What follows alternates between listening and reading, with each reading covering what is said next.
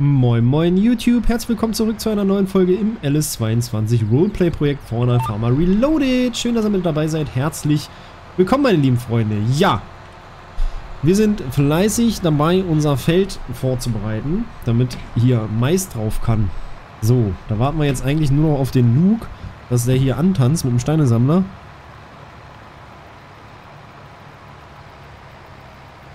Dass er hier das Ganze schick macht, damit Chef hier Mais drauf knüppeln kann. So.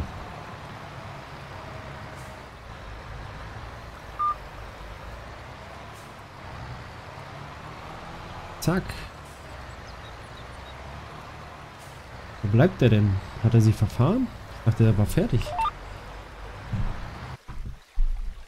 Ich dachte, der war fertig.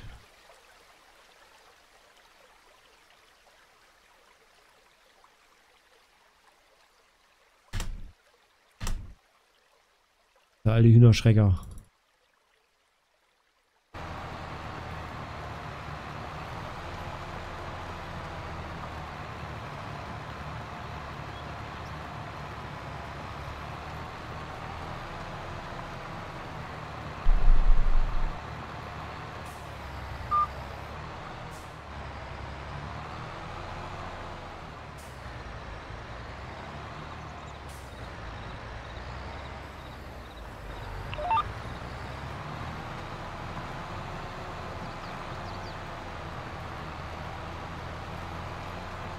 Wir müssen Chef dann, glaube ich, auf jeden Fall erstmal fragen, was wir als nächstes machen sollen, wenn wir hier fertig sind mit Bühnen.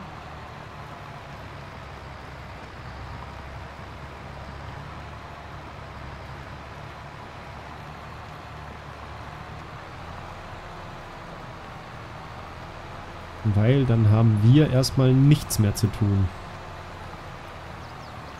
Flügen sollten wir und dann sollten wir flügen. Hat er uns noch was? Ich bin gerade noch überlegen, aber ich glaube, das war's. Mehr hatten wir nicht mehr offen. Bin mir nicht mehr sicher, ob irgendwer von den anderen Leuten noch was bei mir an Arbeit abgesetzt hatte. In den letzten Wochen, wo ich nicht mehr dran denke. Aber ich glaube, das war's.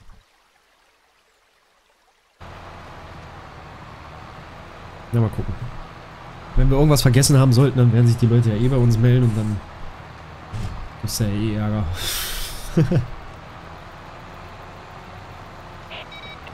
Jo, Meister Lamba, hast dich verfahren oder was? Was hab ich? Ob dich verfahren hast? Nee, warum? Weil du immer noch nicht angekommen bist hier. Ich bin doch gleich da. Ja, ich du, jetzt noch die Kurve und dann sehe ich dich eh schon. hast du Schneckengang reingelegt oder was? Nee, nee, ich habe nur telefoniert mit Jeff, hab Bescheid gegeben, dass ich fertig bin. Äh, Nein. du darfst dich aber beeilen, weil der kommt jetzt dann. Ich? Ja, Ja, bevor du die Steine nicht gesammelt hast, kann er nichts machen. Also warum soll ich mich beeilen? ja, weil sonst scheißt uns wieder zusammen, weil wir, ob wir siamesische Zwillinge sind, weil wir schon wieder zusammen am Feld sind. Ja, Dafür kann ich doch nichts. Nee, sagst du ja nur. Dann hätte er das vielleicht selber mal bei uns äh, in die Dokumente eintragen müssen, dass bei uns noch was gedüngt werden muss, dass bei uns noch was gepflügt werden muss, beziehungsweise ja, pflügen nicht, sondern eigentlich gegrubbert, aber wenn nicht zum Grubbern, kein Grubber haben zum Grubbern.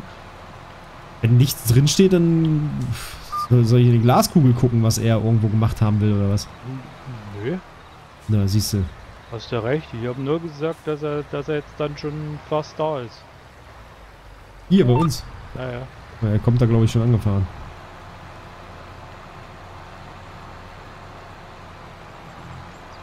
Ja, Der Chef. ja, ja, da fährt gerade einer in die Einfahrt da vorne. Versucht's zumindest. Sieht lustig aus, sieht interessant aus. Wir versuchen mal Flug.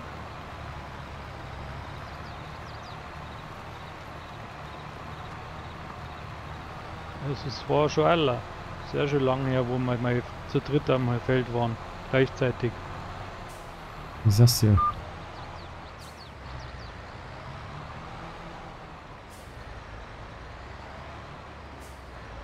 Was macht er denn? Fährt er weiter oder was? Was? Er wartet, Ja, dass du die zweite Bahn machst, damit er loslegen kann. Mhm. Ja, Er hatte die doppelte Arbeitsbreite von dir. ja, ich sammle ja die Steine unter der Ecke auch noch mit. Das ist nächstes Mal, wenn ich mähe hier oben. Achso, nee, was wird denn überhaupt gesät hier? Weiß man nicht. Mais, glaube ich. Mais. Achso. Ich wollte schon Gras sehen, dann konnte ich wieder mähen bis unter die Ecke rein. Mhm. Und es sind keine Steine mehr da. Mhm. Mhm. Mhm. Kannst du dann aber auch selber Schwaden sammeln, pressen und einsammeln. Wenn Ja. du bis unter die Hecke mähst, sag ich dir, wie es ist. Ich mach das nicht mehr. Nee, nee, ich, äh, ich habe ja schon angekündigt, oder besser gesagt, ich habe mich in meinem Urlaub, wo ich war letzte Woche, habe ich mir äh, Do-it-yourself rausmähen, nicht ganz zur Hecke. Mit Trecker. Huch. Jetzt los. Känguru-Sprint. Mit Träger, mit was für ein Träger? Fahren, Mensch. Mit Schlangenlinien hier. Also Ja, der Trecker, kann das nicht. ich glaube der Trecker hat irgendwie Dreck im Tank oder so. Ja, ja, bestimmt. Ja, ich habe mich vor dem Tank, ähm, achso, nee, habe ich dir gar nicht erzählt. Du kriegst noch eine Rechnung vom Landhandelchef. Warum? Ja, ich bin in den Trecker rein und der hat geblinkt. Der war leer. Jetzt, äh, ich wäre nie mehr nach Hause gekommen zum Tanken. Also habe ich mich am Feld betanken lassen. Ist ja Am- super. Am Feld. Die kostengünstigste Variante. Was soll ich machen? Soll ich stehen bleiben, dass er, dass er verreckt und dann, wie willst du machen? Abschleppen oder was? Hätte man abgeschleppt, hätte es den anderen genommen. Ich dachte, das Ding stand eh oben beim äh, Stefan. Da hättest du auch tanken können. Wo hätte ich tanken können? Am Feld, äh, am, am Hof? Ja. Ja, ich wäre nicht mehr hintergekommen. Ich bin eingestiegen und er hat zum Blinken. Also der hat geblinkt schon. Er war kurz vor leer. Wahrscheinlich noch gut, dass er überhaupt äh, der Radio angegangen ist. So Also läuft das auch mit Diesel, das Radio oder was? Nee, aber wenn Hast du eine Sonderedition da drin, die mit nee, Diesel wenn läuft? du nicht an meinem Motor mehr anmachen kannst. Das hat Mike also alles wieder richtig gemacht. Ja, voll leer. Wollten jetzt nicht dranhängen, aber ja, er war leer. Und er hat Oh, sich nicht ja. vorher darum gekümmert, dass, dass er zum Tank gefahren ist. Der ist Ja, ja, egal. Verrechnen wir alles. Mit was? Ja, mit der Rechnung, die dann kommt. Äh, für wen? Ja, erstmal kriege ich die Rechnung, dann sind wir weiter. Ja gut, mir kann es nichts abziehen, ich kriege ja nichts. Ja, hast doch nichts verdient. Ja, Schlangenlinien, kannst nicht vernünftig tanken. Ich war nicht da. Ja, ich auch nicht. Wo warst du? Hast du auch Urlaub gehabt oder was? Rätst jetzt hier mit runtergelassener Maschine in eine Kurve durch die Gegend. Was sind wir hier? Sportverein oder was? Ja, sie, Im Ausheben und Einlassen noch nichts gehört, wa? Woll. Mann, Nö. Mann, Mann, Mann, Mann, Mann, Mann, Mann, Woll. Mann.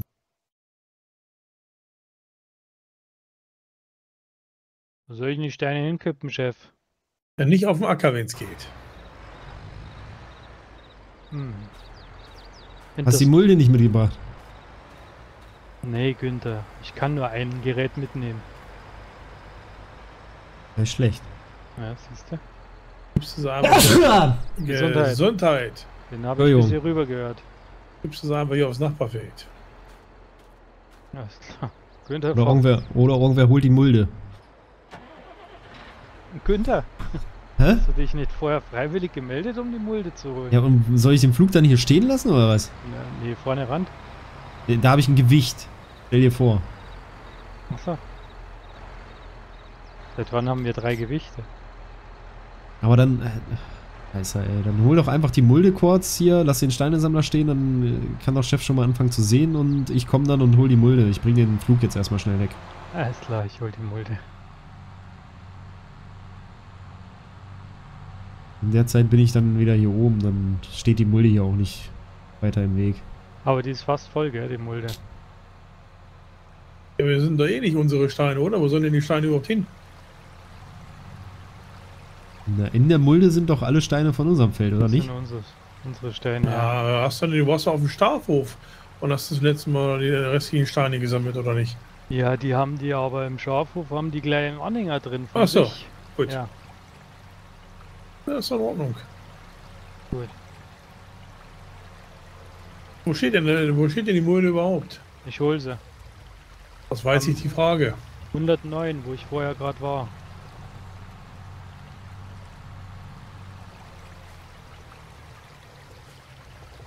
Kriegen wir das bisschen noch rein, was du da drin hast? Ja, ich denke. Ich hoff's.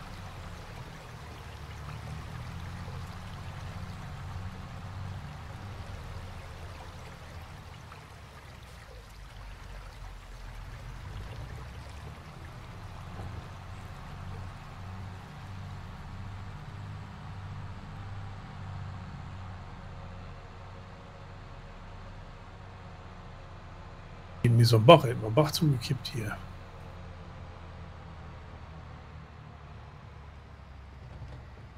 Kannst du auch nicht machen, hätte sich wieder irgendwer beschwert.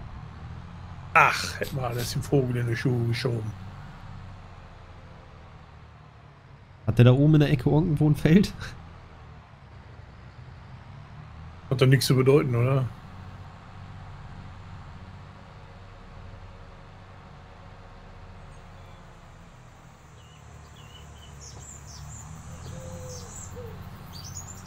Was mit den Feldern, die du jetzt angesät hast? Muss da nochmal Dünger drüber Da oder? muss Kalk, da muss gedüngt werden. Das volle Programm. Macht man Kalken nicht vor der Aussaat? Ne, musst du nicht unbedingt. Okay. Aber ja, aber dann war irgendwann nicht schnell genug bei uns. Oder wusste es nicht, dass er gekalkt werden muss?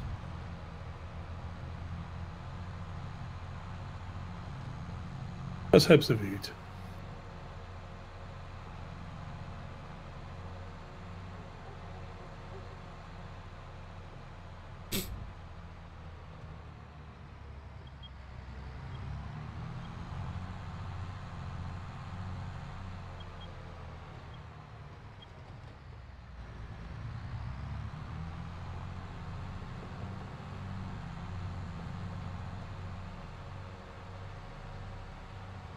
Gut, also wenn wir gleich nochmal die Felder kalken alle und düngen.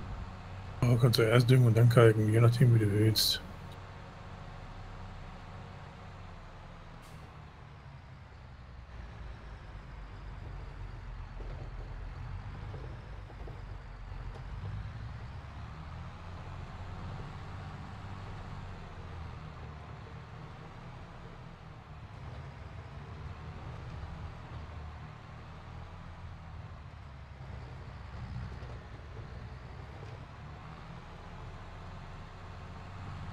Na dann machen wir das doch. Dann fahren wir jetzt äh, und holen den Düngestreuer.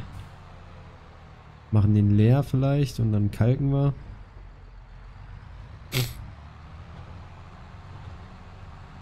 Da kommt unsere Spritze zurück.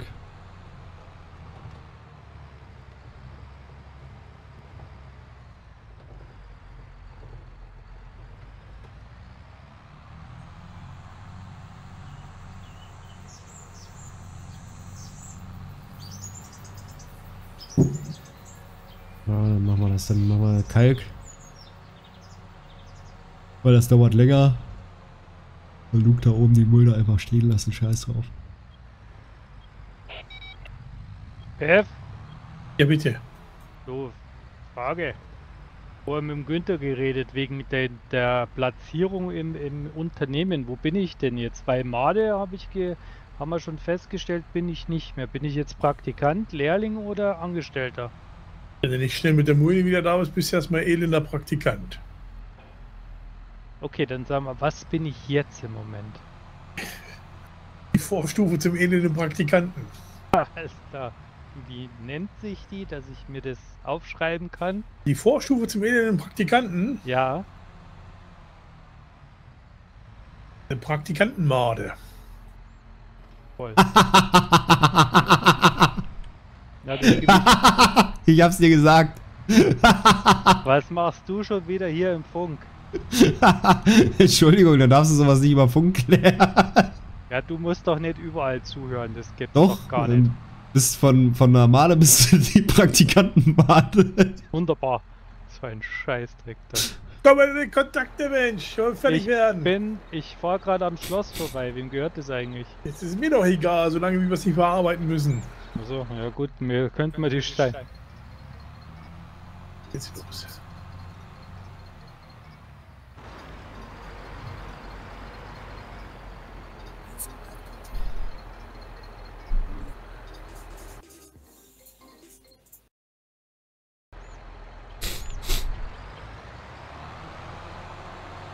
Katastrophe, was war das denn? Keine Ahnung, was das wieder war. Weiß ich nicht. Ja, Chef muss sein Telefon nochmal richtig äh, irgendwo in die Tasche stecken. Das war ja, das hat sich ja ganz komisch angehört. Ja, aber ich glaube, der hat das aber volle Lautstärke gestellt, oder? Das weiß ich nicht. Also, mir hätte ja fast die Ohren weggeknallt gerade. Echt? Ja, Weiß auch gar nicht, also. Ich hätte ihm ja jetzt gerne gesagt, dass er mm, mir mal die Füße anfassen kann, ne? wieso? Naja, dass wir jetzt noch kalken sollen Ja. Und dann noch düngen. Auf den Feldern, die er jetzt angesät hat. Was hat er denn Ja. überhaupt angesät? Der hat jetzt doch nur die 92 gemacht, oder nicht? Aber normalerweise haben wir das im Dings gelernt, glaube ich, erst kalken und dann. Also ich war eigentlich auf der Meinung, was du gerade vertreten hast. Ja. Bin auch kalken, kalken ist doch jetzt eh schon zu spät, oder? ich bin mir jetzt aber auch nicht hundertprozentig sicher. Egal, ich nehme jetzt erstmal den Dünger mit. Der ist hier schon wieder nicht mal was sicher. Was ist da schon wieder los für ein Geschwätz? Hey Chef, lass den. Ich, ich mach das fertig. Ja, ja, bring die Mulde weg. Ja, ja, ist. Ich weiß. Mir aber egal. Danke fürs Gespräch.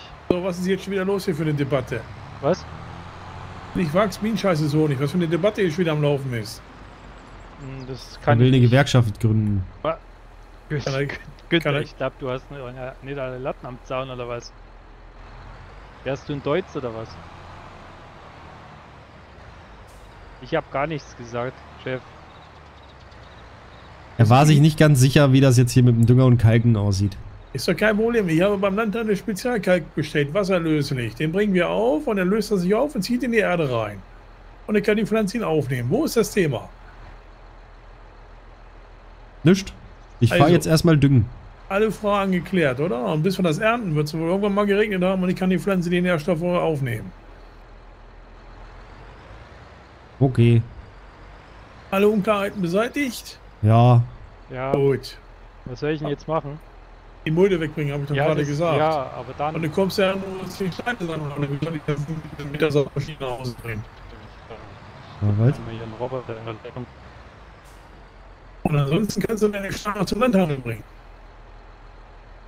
Aber was sollen wir damit am Hof?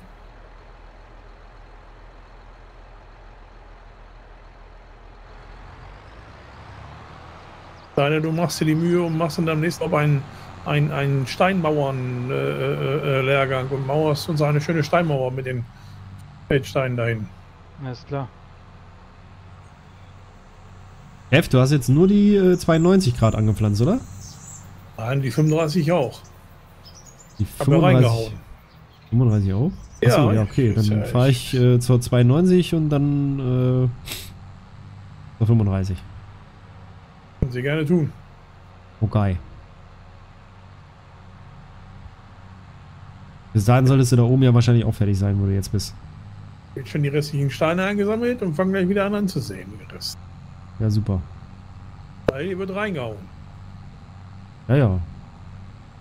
Nicht nur Frühstück und Mittag. Auch Abendessen gibt's. Nur wenn es fertig ist. Okay.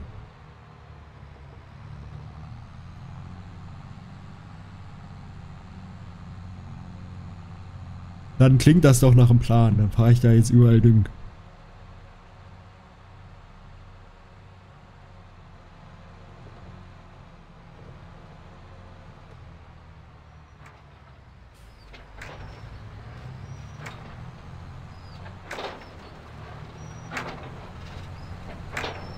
Was ist eigentlich mit den anderen Yogis? Haben die sich bei dir krank gemeldet oder sind die immer noch im Urlaub? Keine Ahnung. Kein Bild, kein Ton. Wir kommen nicht. Okay. Weiß ich nicht, was das für eine Arbeitsmoral wieder ist hier.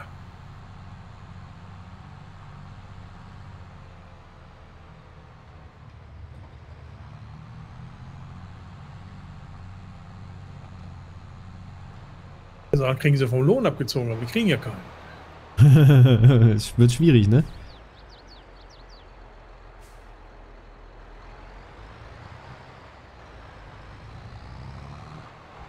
Erstmal Frühjahr Feld und Graben mit Spaten. Die beim Mund, die stechen weit werfen. Das will ich sehen. Wieso willst du da auch mitmachen oder was? Ne, ich will sehen. Oh, könnte ja sein, dass du dabei sein willst. Hätte ich eingefädelt. Nee, nee, nee, nee, nee, nee, nee. Die dürfen ihre Strafarbeit alleine machen. Ja, Schlepper nicht tanken. Gibt's ja gar nicht. Das ist frech, ja. Wollte die Karre schieben nach Hause oder was? Hätte sich wahrscheinlich abschleppen lassen. Wie das letzte Mal. Ja. Hätte ich vielleicht keine, keine, keinen Güllewagen und Gülletransporter kaufen sollen, sondern einen Abschlepper. Ja. Den brauchst Heute du wahrscheinlich bei unseren Kollegen eher. Aber meine lieben Freunde, das wäre es auch mit der Folge. Däumchen raus, Abo raus, schreibt gerne wer es in die Kommentare und Kuss auf die Nuss. Bis zum nächsten Mal. Tschüss mit Öl.